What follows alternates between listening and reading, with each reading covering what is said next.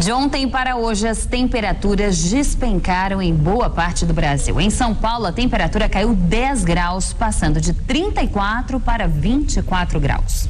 E a chuva até refrescou o dia, mas foi bem mais fraca que o esperado pelos meteorologistas. Segundo eles, a frente fria avançou rápido demais e acabou enfraquecendo. Vamos ver em detalhes a previsão para o Brasil e o estado de São Paulo com Mariana Armentano.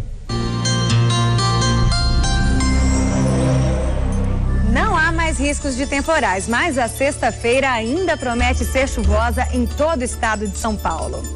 No Rio Grande do Sul, a chuva forte dá uma trégua, mas ainda faz friozinho. E com exceção do extremo norte do país e do litoral nordestino, onde o sol predomina e a chuva é passageira, há condições de chuva a qualquer hora em toda essa área que vai de Santa Catarina, passando pelo sudeste, centro-oeste até o Acre. Nessa parte mais escura do mapa, o tempo fica mais carregado. Aqui no estado de São Paulo, o dia fica fechado com pouquíssima abertura de sol, mas apesar das temperaturas mais baixas e da chuva, a sensação ainda vai ser de tempo abafado. No centro-oeste, a máxima vai aos 30 graus em Votuporanga.